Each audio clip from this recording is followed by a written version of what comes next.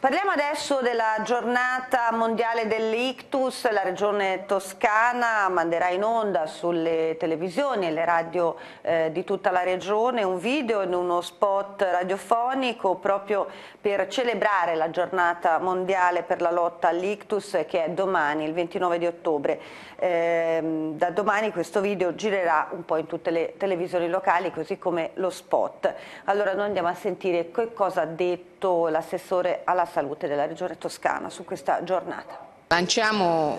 una, proprio in occasione della giornata internazionale contro l'ictus che ci sarà domani, lanciamo una campagna informativa molto capillare per i cittadini affinché eh, siano maggiormente informati su quali sono i sintomi che consentono di riconoscere una possibile presenza dell'ictus e possano intervenire nel modo più rapido possibile. Facciamo tutto questo perché questa è una problematica rispetto alla quale il tempo con cui si interviene diventa un fattore essenziale. Il tempo con cui si riconosce questa malattia e con cui si interviene rispetto a questa problematica diventa un elemento essenziale non solo per salvare la vita delle persone ma anche per evitare cause poi di invalidità successiva.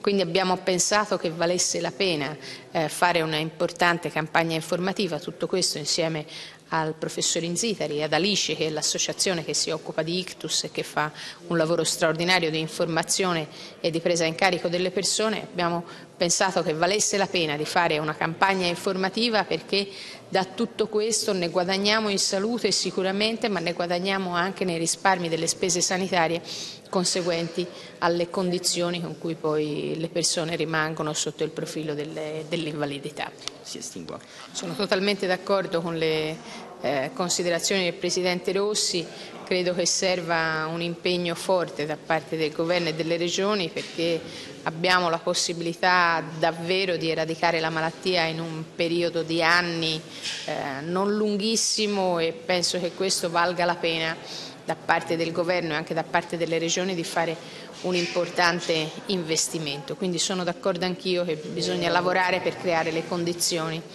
perché sia possibile realizzare fino in fondo questo obiettivo. Eh, sì, nel senso siamo tutti un po' preoccupati ma sappiamo che la condizione del Paese è quella che è, quindi comunque apprezziamo eh, che esista un miliardo in più di investimenti sulla sanità per il prossimo anno, apprezziamo l'impegno del Governo su tanti fronti come quello della povertà, sul fondo per la non autosufficienza, su